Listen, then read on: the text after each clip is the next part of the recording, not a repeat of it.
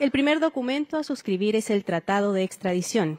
Invitamos a acercarse a la mesa de firmas al ministro de Relaciones Exteriores de la República de Chile, Alberto Van Claveren, y al ministro de Relaciones Exteriores de la República Federativa de Brasil, Mauro Vieira.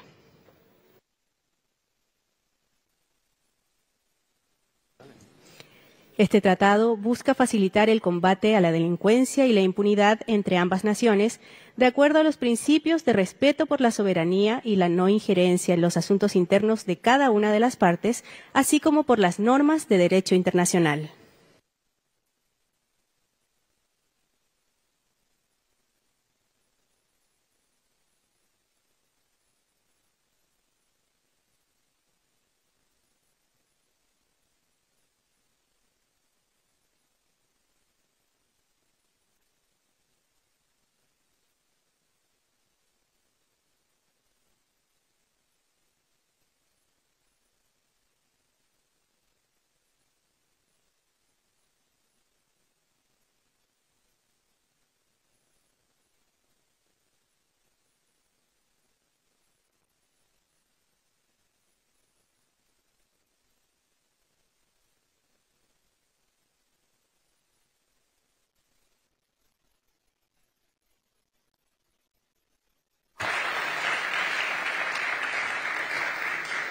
Invitamos a permanecer en la mesa de firmas a los cancilleres de Chile y Brasil para suscribir el acuerdo entre la República Federativa de Brasil y la República de Chile para el reconocimiento recíproco de licencias de conducir. Firman los cancilleres de Chile y Brasil. Este acuerdo permitirá que los nacionales de ambos países, titulares de licencias de conducir emitidas por uno de los estados de este acuerdo, puedan conducir vehículos en el territorio del otro con el fin de mejorar la seguridad de los transportes y agilizar el tránsito por carretera.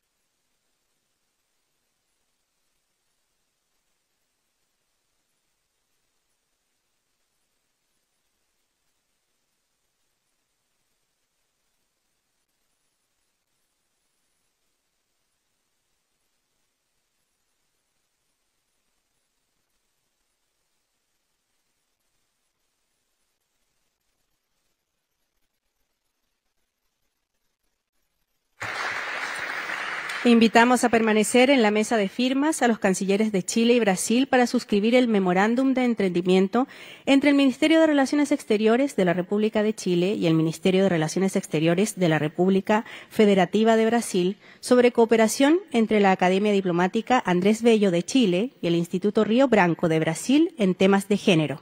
Firman los cancilleres de Chile y Brasil.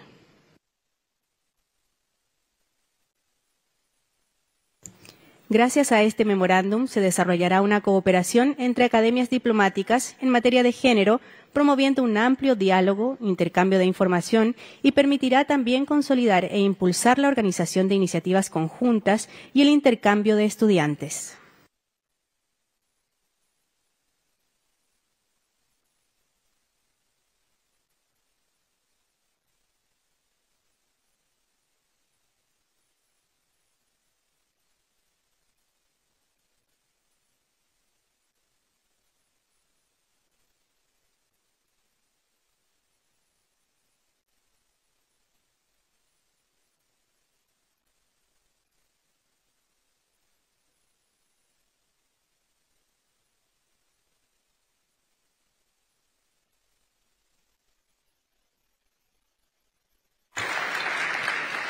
Los invitamos a permanecer en la mesa de firmas para suscribir una declaración conjunta.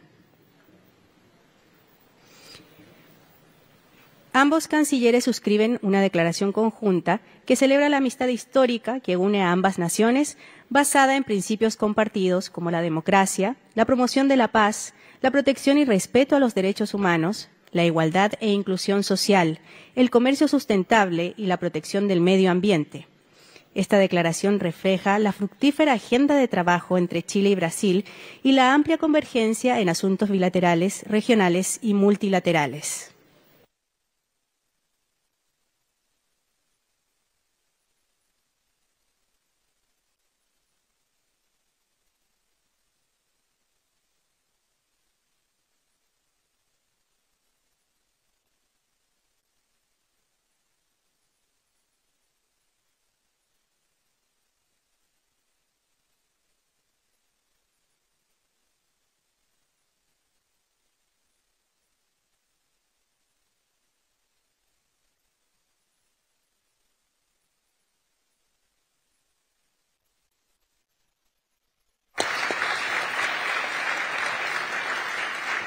Invitamos a los cancilleres de Chile y Brasil a regresar a sus asientos.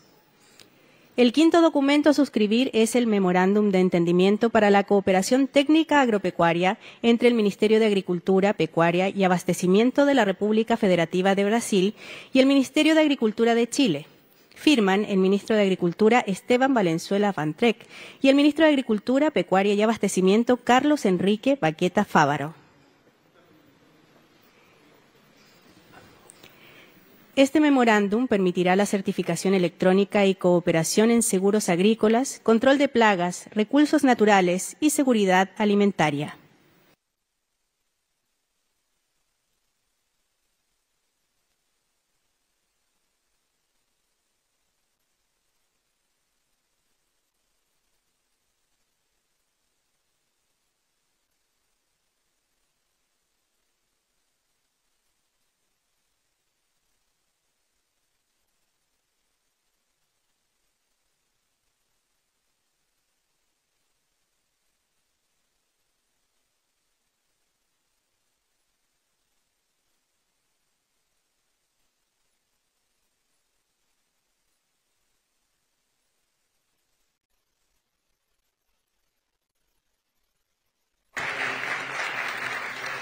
Invitamos a los ministros de Agricultura de Chile y Brasil a regresar a sus asientos.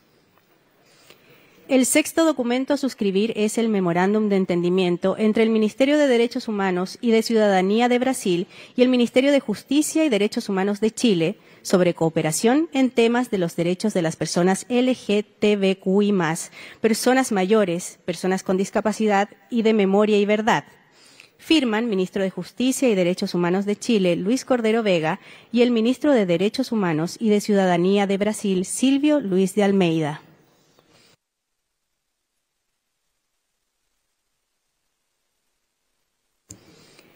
Este acuerdo establecerá un mecanismo de diálogo bilateral en áreas de interés común a través de proyectos de cooperación técnica y política para el intercambio de buenas prácticas en la promoción y defensa de derechos.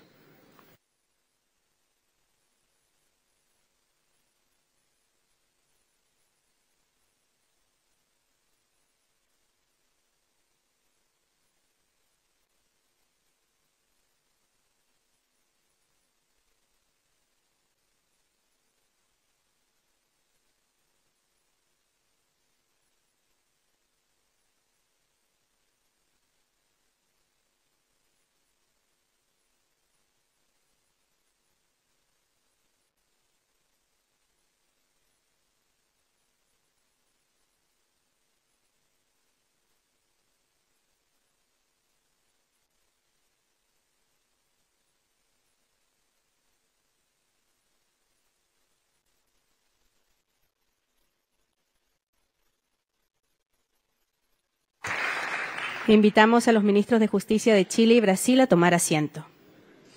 El séptimo documento a suscribir es el Plan de Acción para la implementación del Acuerdo de Cooperación Turística entre el Gobierno de la República Federativa de Brasil y el Gobierno de la República de Chile.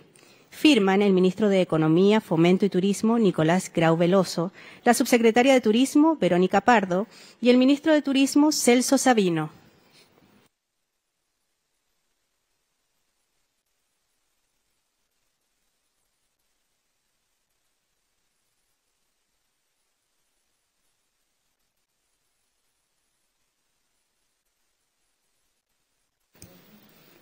La relación con Brasil en esta área es estratégica, lo que ha permitido el crecimiento del turismo entre ambos países gracias a una estrategia de apertura en la conectividad aérea con rutas permanentes a diversas ciudades de Brasil y la recuperación de rutas.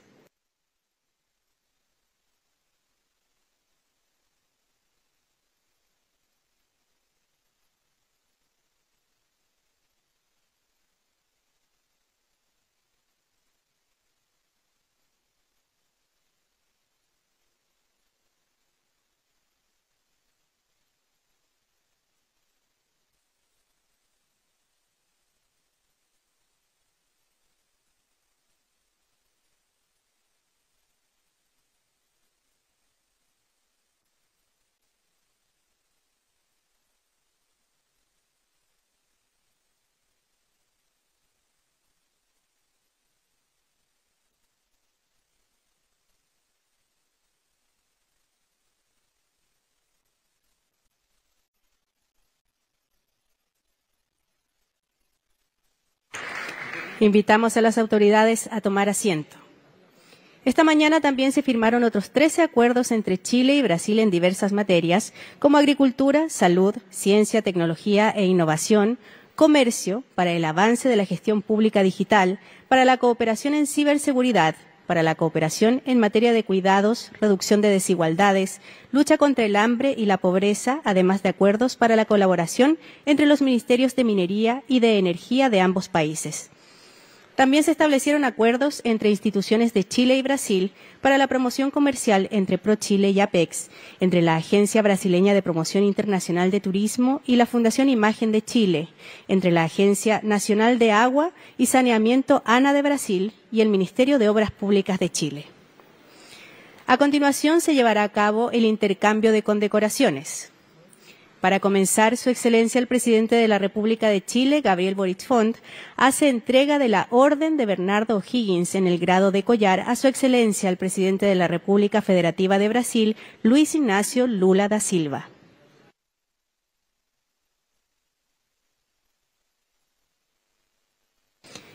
La condecoración Bernardo Higgins en el grado de collar es la más alta en la que ésta se otorga, simbolizando la amistad entre ambos países.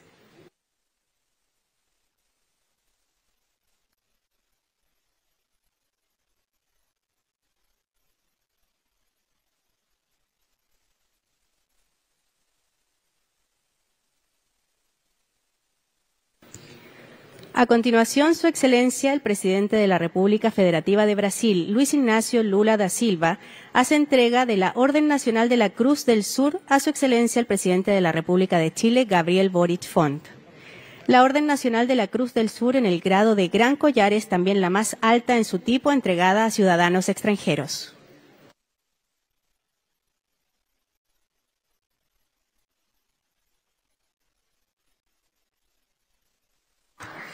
A continuación, ambos mandatarios realizarán una declaración a la prensa. Para comenzar, hará uso de la palabra Su Excelencia el presidente de la República de Chile, Gabriel Boric Font.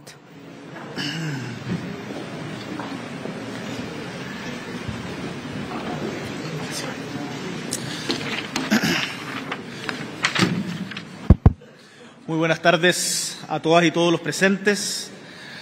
Nuevamente y ahora en público le doy la bienvenida al presidente y compañero Luis Ignacio Lula da Silva y a la delegación de alto nivel que lo acompaña. Son 14 ministros, diferentes funcionarios, trabajadores y trabajadoras públicos de diferentes áreas, además de una delegación del mundo privado de cerca de 250 empresarios. Esta delegación de alto nivel demuestra la importancia que le da Brasil a Chile. Y quiero decir, por supuesto, que esto es recíproco y desde ya les digo que acepto encantado la invitación a hacer una visita de Estado que nos ha hecho el presidente Lula para abril del próximo año.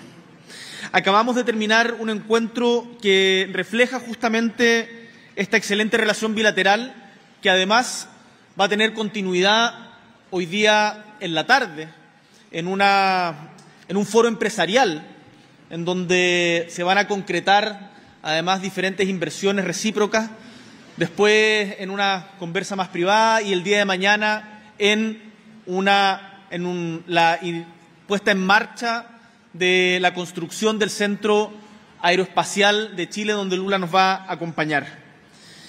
Pero para comenzar esta visita había que partir por la memoria, porque esta casa está llena de historia. Y junto al presidente Lula recorrimos los principales sitios de memoria y encuentro que alberga nuestra casa de gobierno, la histórica puerta de Morandé 80 que abriera el presidente Lagos y el Salón Blanco que reinaugurara la presidenta Michelle Bachelet, espacio en donde se reconstruyó la oficina del expresidente mártir Salvador Allende. Sabemos que un país sin memoria es un país sin futuro y por eso con el presidente Lula conversamos de los temas que nos han unido históricamente, de la amistad recíproca de nuestros pueblos, pero por sobre todo de futuro. Respecto a la relación económica, quiero destacar que desde la negociación del acuerdo de comercio entre Chile y Brasil, las exportaciones chilenas a Brasil han aumentado de 3.327 millones a el 2018 a más de 4.250 millones de dólares en 2023, un incremento de casi 30%. Esto es inédito a nivel de relación con otros países. Y tengo la convicción de que esas cifras pueden seguir creciendo. Seguir creciendo no solamente dentro de las grandes empresas, sino también para pymes, que hoy día se están abriendo espacio en el tremendo mercado de Brasil. Piensen, y acá le hablo a los chilenos y chilenas, que nosotros somos un país de 19, 20 millones de habitantes. Nicolás Grau nos va a decir prontamente con exactitud esa cifra en unos días más. Pero Brasil son más de 210 millones de habitantes. Imagínense todas las oportunidades que tenemos si es que profundizamos nuestros lazos. Brasil además es el primer socio comercial de Chile en la región y el tercero a nivel mundial. Y además Brasil ha ejercido históricamente el liderazgo en el Mercosur, en donde también hemos trabajado en conjunto. Sin ser Chile miembro pleno, eh, ha participado activamente de diferentes iniciativas, por ejemplo, la promoción turística en nuestros países, en mercados lejanos, lo que se materializa a través de la marca Visit South America, One Place, Several Worlds. Y este trabajo ha demostrado que la mejor manera de posicionarnos en mercados como Asia, como Europa es asegurando una experiencia conjunta en donde se pueda vivir de manera más íntegramente la experiencia latinoamericana y así también insertar de mejor manera a Chile en la región a la que pertenece. Además, ustedes han visto que el turismo de brasileños, brasileñas en Chile es tremendamente importante, tremendamente importante. Y me mostraba el presidente Lula que el aumento de turistas chilenos a Brasil ha sido exponencial en los últimos años. Ahí hay un intercambio cultural, económico, de geográfico que es importante también seguir sosteniendo. Conversamos mucho respecto a integración y como muchas veces las palabras se las lleva el viento. Por eso es importante que seamos capaces de concretar. Y lo que hablamos con el presidente Lula es que queremos, durante nuestro mandato, concretar instancias de integración reales. Por ejemplo, el corredor bioceánico vial que va desde Mato Grosso do Sul hasta los puertos de Iquique, Antofagasta, Tocopilla. Eso va a significar un cambio muy significativo en el comercio de Brasil con Asia-Pacífico, en donde sabemos lo importante que son esos mercados. China hoy día es el principal socio comercial de ambos países y nos propusimos con el presidente Lula poder inaugurar este corredor durante nuestro mandato. Estuvimos hace poquito, ustedes saben, en Paraguay, justamente trabajando en esto. Ahí hay que empujar un poquito más con Argentina, pero no me cabe ninguna duda que lo vamos a lograr y nos hemos puesto eso como meta con el presidente Lula para hacerlo al más alto nivel. También hemos conversado de ciertas amenazas que tenemos en común, el crimen organizado para enfrentar el crimen organizado que asola nuestras tierras. Tenemos que trabajar en conjunto. Hoy día, lo comentábamos recién, el director internacional de la Interpol, el director eh, máximo de la Interpol, es brasileño. Y tenemos que unificar más la información entre las policías de nuestros países para poder combatir en conjunto tanto el tráfico de drogas como el tráfico de armas, como también el tráfico de personas. Y en esto es indudable que la migración juega un rol tremendamente importante. En nuestro continente tenemos fenómenos migratorios muy complejos, muy complejos. Y no los podemos abordar solamente cada uno viendo la frontera de su país. Conversábamos con Lula la cantidad de kilómetros de frontera que tiene cada uno de nuestros países. Y por lo tanto, el trabajo político que hay que tener en conjunto para poder fortalecer aquello y que el crimen no se cole por justamente esto y abordar la migración desesperada muchas veces de manera también conjunta. A nivel global, destaco el liderazgo de Brasil en el G20, en la COP, van a organizar prontamente el G20 en Brasil, en donde hemos sido invitados a colaborar en los grupos de trabajo de empleo, igualdad de género, comercio, inversiones, agricultura, finanzas sustentables y a la Fuerza de Tarea de Movilización Global contra el Cambio Climático y agradezco muchísimo la invitación también que me ha hecho a mí como presidente de Chile, el presidente Lula, para participar de la próxima cumbre del G20. Además, nos sumamos a la Alianza Global contra el Hambre y la Pobreza, que está impulsando Brasil. ¿Quién mejor que Brasil y en particular el presidente Lula para dar cuenta de la experiencia que han hecho en su país en la lucha contra el hambre y la pobreza, en un enfoque de alimentación, de nutrición, de educación. Y en esto tenemos plenas coincidencias y no me cabe ninguna duda que podemos trabajar en conjunto. También en materia y lo comentábamos bien en detalle, de crisis climática. Otra de las cosas que queremos concretar a propósito del consenso de Brasilia es tener un mecanismo de respuesta conjunta entre los países de América del Sur para las emergencias que son cada vez más comunes en nuestra región, que no dependa solamente de la buena voluntad circunstancial que pueda existir entre presidentes, sino que tengamos sistemas de respuesta integrados que nos permitan actuar rápidamente y con mayor eficacia frente a desastres naturales como los que hemos vivido en el último tiempo. Tenemos una amistad histórica que hoy día se expresa concretamente en 19 acuerdos que se han firmado, que es tarea de quienes están aquí presentes, ministros y ministras de Estado, subsecretarios y subsecretarias, de concretar en beneficio de la gente para la que trabajamos.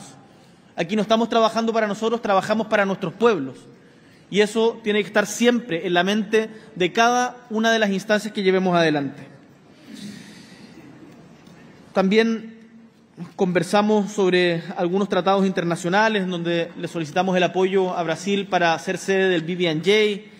Eh, felicitamos a Brasil por la reciente presidencia que ha tenido en materia de áreas marítimas, también en uno de los nuevos tratados que se ha firmado al respecto. Em, y como les contaba, junto al presidente Lula vamos a estar en la tarde reafirmando nuestra sintonía en materia comercial empresarial y mañana vamos a firmar un acuerdo de cooperación espacial reforzando la importancia de la cooperación en esta área. Esta visita se trata sobre la relación Chile-Brasil. Sé que pueden haber muchas preguntas respecto a otros temas. Les digo que respecto a otros temas de contingencia nacional, que hay varios y a los cuales ya se han referido algunos de nuestros ministros hoy día en la mañana, y a otros de contingencia regional e internacional, en particular respecto a la situación de Venezuela, yo personalmente me voy a referir mañana en la tarde. Estimado presidente, le agradezco profundamente a usted, a su delegación, esta visita, el cariño, tu experiencia, tu trayectoria y la voluntad de compartirla para poder aprender y tomar una posta larga respecto a la preocupación por los más desposeídos, por la integración de nuestros pueblos y por construir una izquierda y un progresismo que sea democrático y que siempre, a todo evento, respete y haga respetar a los derechos humanos en cualquier lugar. Muchas gracias, presidente Lula, por tu liderazgo y por estar aquí en Chile. Bienvenido, compañero y amigo.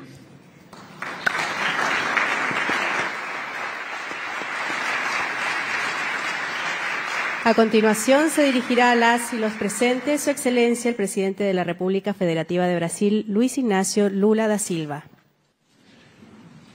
Querido companheiro Gabriel Boric, presidente da República do Chile, querido companheiro Alberto, ministro das Relações Exteriores do Chile, Mauro Vieira, ministro das Relações Exteriores do Brasil, Sebastião de Paula, embaixador do Chile no Brasil, e Paulo Pacheco, embaixador do Brasil no Chile, companheiros ministros e secretárias e membros do governo chileno, companheiros ministros, secretários e companheiros participam do governo do Brasil, companheiros da imprensa, companheiras.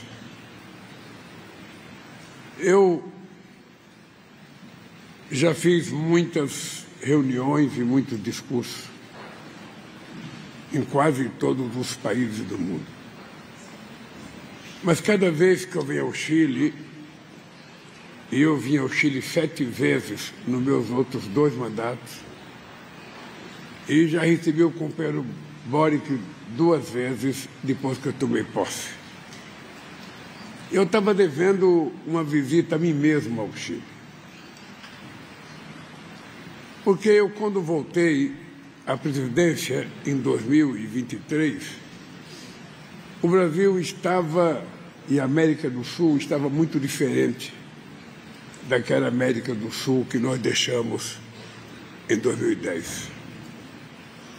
O sonho da integração, o sonho do crescimento econômico, o sonho de criar, de criar instituições uh, multilaterais que pudessem nos dar uma guarida, de criar um bloco econômico, um bloco político, um bloco científico, tecnológico, tudo isso tinha caído no esquecimento.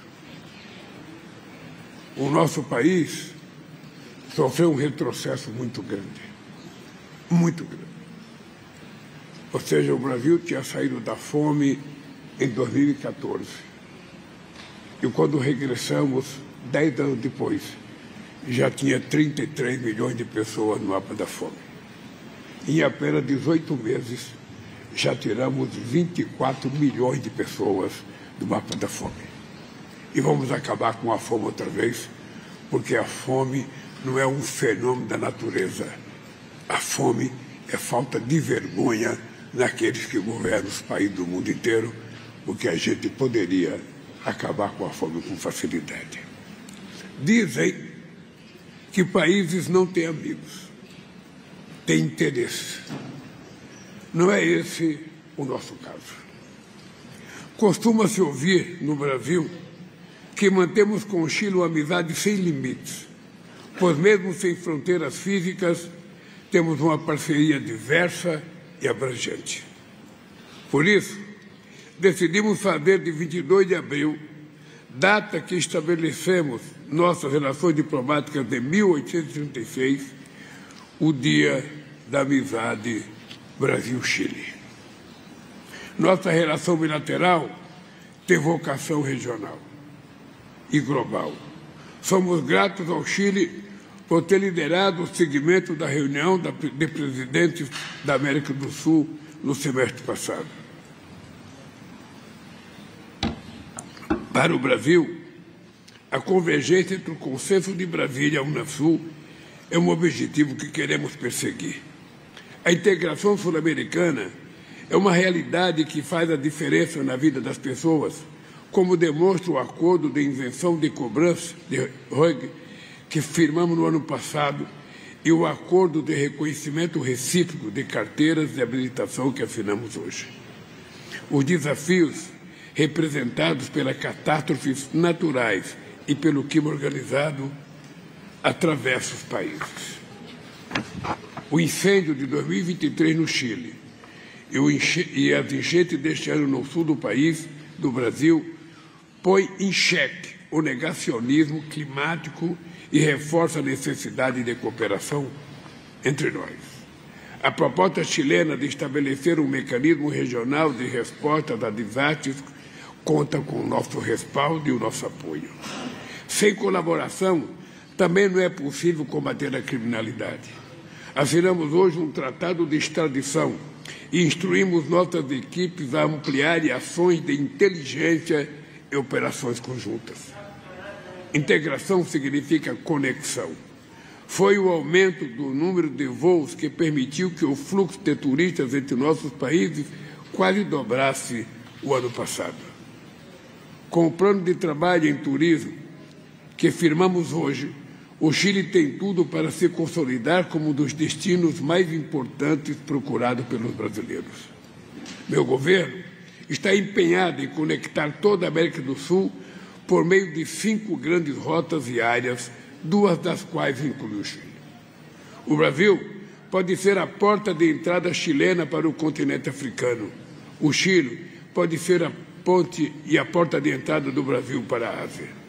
Temos um acordo de facilitação de comércio, cuja implementação avançou em 2023, harmonizando o procedimento para a venda de carne e que progredirá em outros setores, como de cosméticos, neste ano.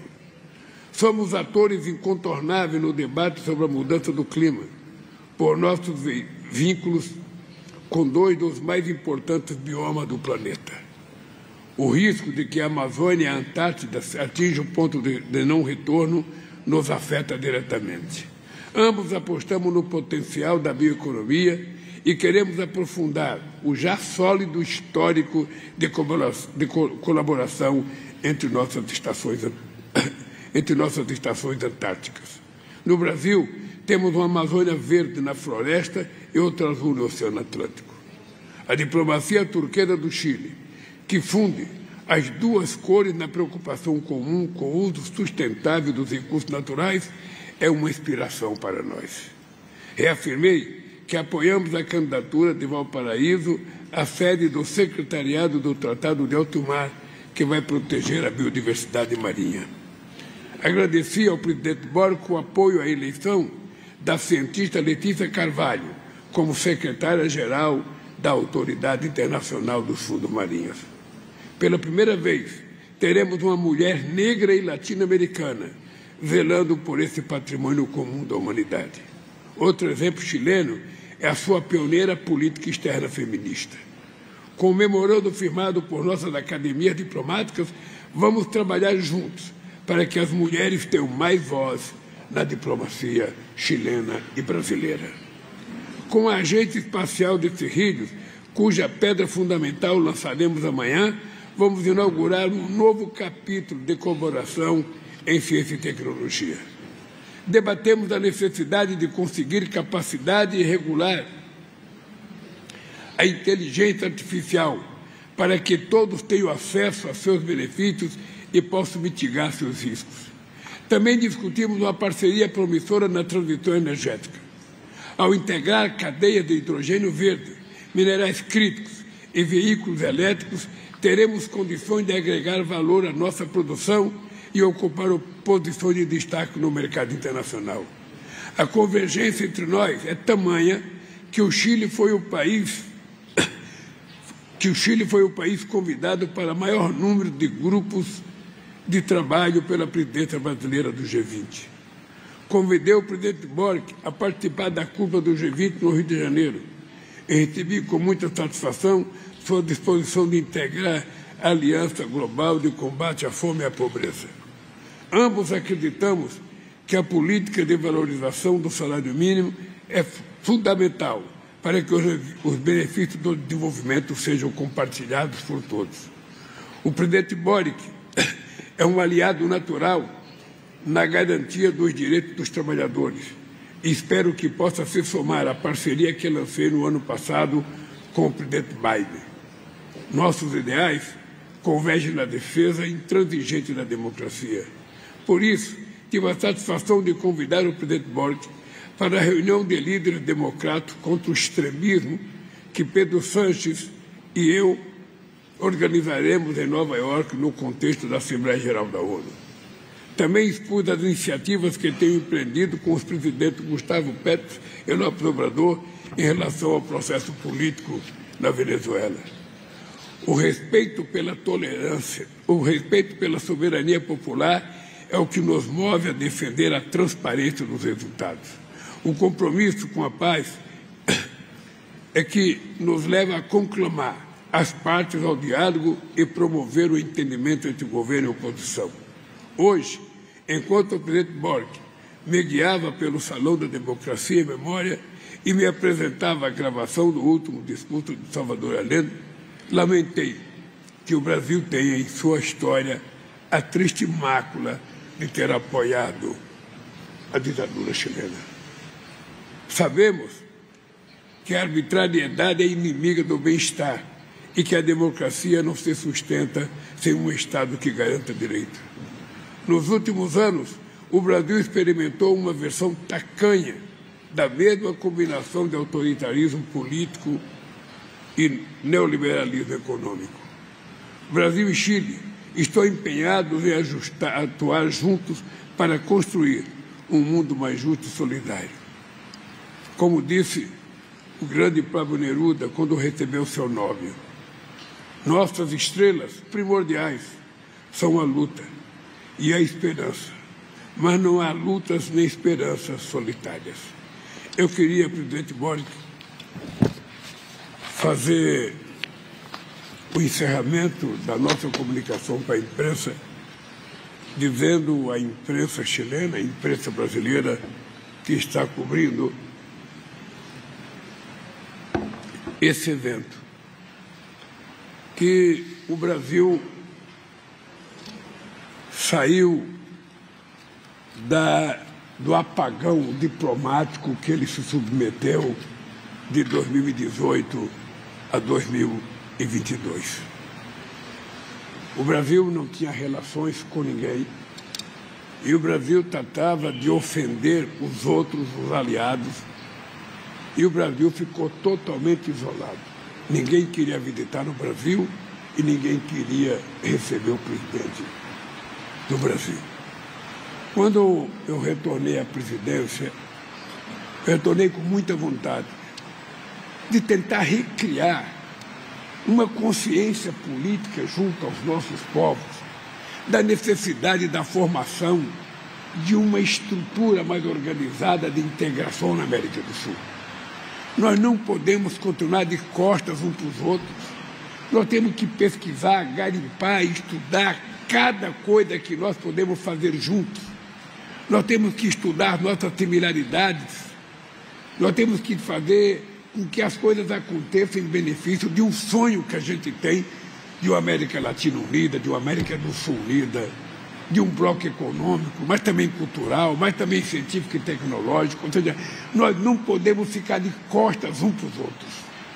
Não é possível, do lado da América Latina Espanhola, o Brasil ser o grande inimigo. E não é possível, do lado do Brasil, a América do Sul ser tão insignificante. Acho que houve um erro histórico. E nós estamos tentando recugir esse, esse erro histórico. Embora que na campanha de 2003, nós fizemos uma campanha contra a ALCA, que nós não queríamos implementar a ALCA na América do Sul, porque a ALCA significaria, sabe, substituir o Mercosul, seria empobrecer a nossa relação comercial. Conseguimos ganhar as eleições e acabamos com a água. Fortalecemos o Mercosul. Quem tiver dúvida é só analisar os dados econômicos do que aconteceu com a integração da América do Sul. O que aconteceu do comércio com a Unasul foi um crescimento extraordinário. Nós saímos de 15 para quase 89 bilhões no comércio exterior com a América Latina. Saímos de 15 para 50 bilhões na América do Sul. Então, companheiro Boric, eu estou convencido que essa nossa vinda hoje ao Chile essa composição de ministérios que me acompanhou é para dizer aos companheiros do Chile: estejam certos que nós não seremos como antes. Nós queremos mais. Nós queremos mais em benefício dos chilenos e em benefício dos brasileiros. Nós queremos mais em benefício da ciência e tecnologia do Brasil e também ciência e tecnologia do Chile.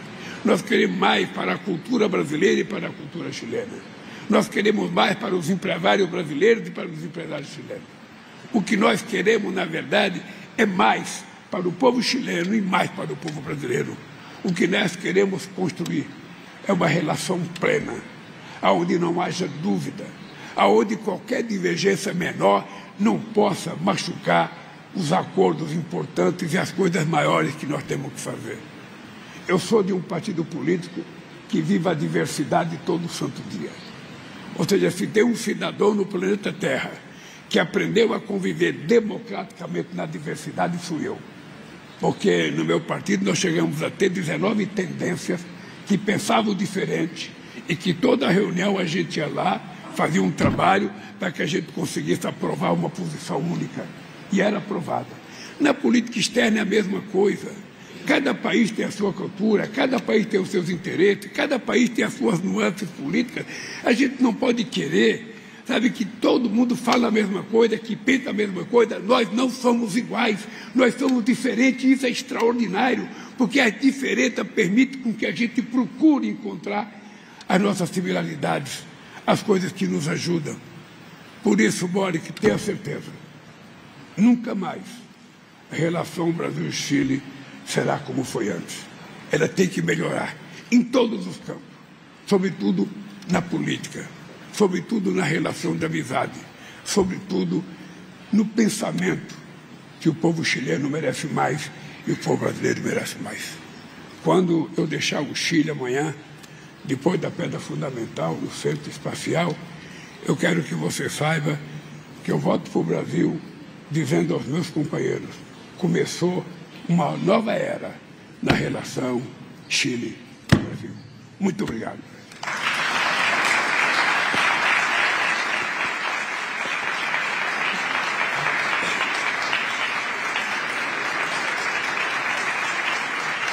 Con esto damos por concluida la presente ceremonia. Solicitamos a las autoridades invitadas dirigirse al Salón Montbaras para el almuerzo de Estado en honor a su excelencia el presidente de la República Federativa de Brasil.